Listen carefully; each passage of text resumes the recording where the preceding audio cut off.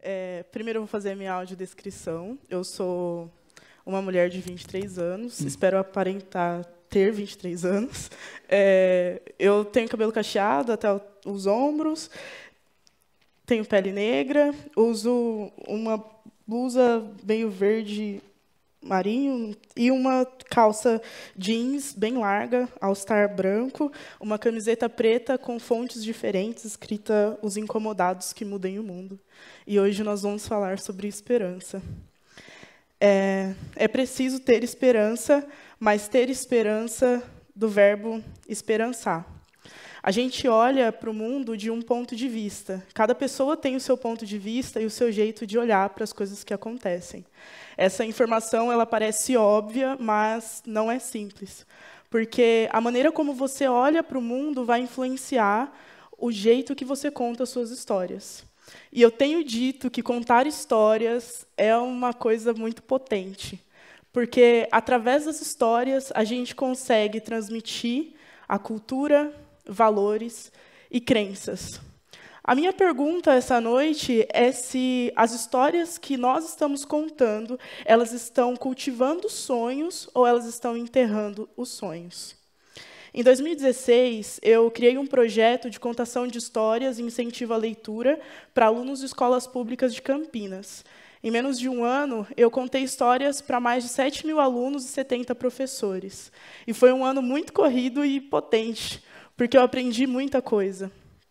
Depois de descobrir que eu conseguia contar histórias, eu descobri que alunos de uma das melhores universidades do mundo estavam procurando apenas 10, só 10 estudantes brasileiros para um programa de mentoria que duraria um ano. Com essa informação, nasceu um sonho: ter mentores que estudavam em Harvard.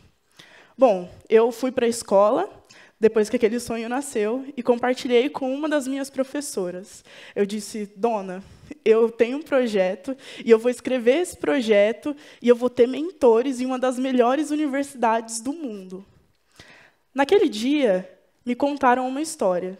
E por incrível que pareça, ela não começou com era uma vez. Ela começou com algumas perguntas. A minha professora me perguntou onde eu morava. E eu disse: "Bom, eu moro na comunidade aqui perto da escola".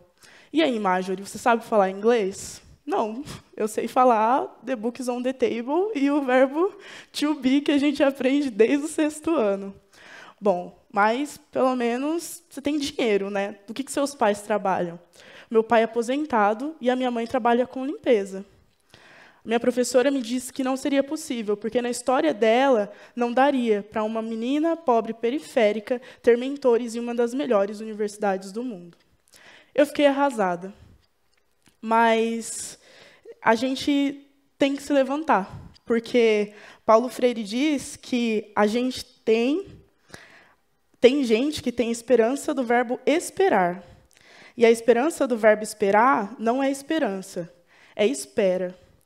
Quando se nasce em uma favela, esperar é muito tentador e perigoso.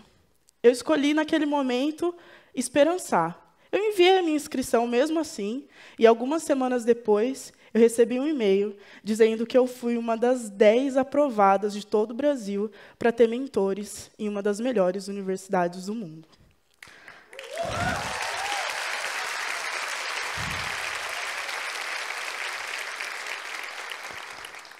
Esperançar, segundo Paulo Freire, é se levantar.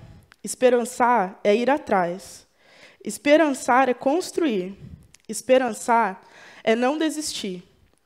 E eu fiquei me perguntando, depois de um tempo, mas por que eu consegui esperançar naquele momento? Porque a história que a minha professora tinha me contado era só mais uma das histórias. Eu havia ouvido outras. Tudo bem que as palavras dela foram as mais pesadas, mas não eram as únicas. O tempo passou. E a vida da gente traz muitos desafios. Até que no dia 14 de março de 2018, numa noite de quarta-feira, a gente recebeu a notícia de que uma vereadora do Rio de Janeiro, Marielle Franco, havia sido brutalmente assassinada.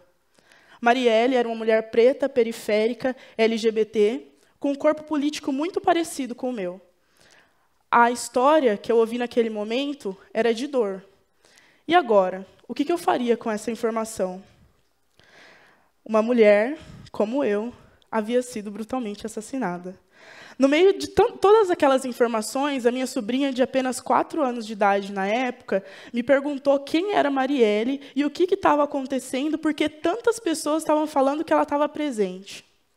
Eu tinha uma escolha a fazer. Será que a história que eu contaria cultivaria sonhos ou enterraria sonhos? Como que eu faria naquele momento para esperançar e transmitir para ela o que eu estava sentindo?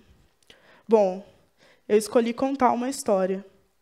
Eu contei para ela que Marielle era uma jardineira que cultivava flores e tinha uma voz potente. Ela amava tanto cultivar flores que até cantava para o seu jardim. Mas acontece que a voz dela incomodava os vizinhos, e de segunda a segunda, os seus vizinhos lançavam balas no jardim de Marielle. E essas balas atrairiam as formigas, que, enfim, devorariam as flores, cores e a força do jardim. Mas mesmo assim ela não parava de cultivar as flores, de adubar a terra e de levar água. Algo aconteceu. As balas acertaram Marielle, ela caiu em buraco profundo. Naquela terra que estava tão bem adubada, seu coração germinou e virou uma árvore forte e potente que se espalhou pelo mundo. A história que eu contei para Sofia foi uma história de esperança, porque eu aprendi que esperançar também é respirar fundo e olhar para o amanhã com delicadeza, com gentileza.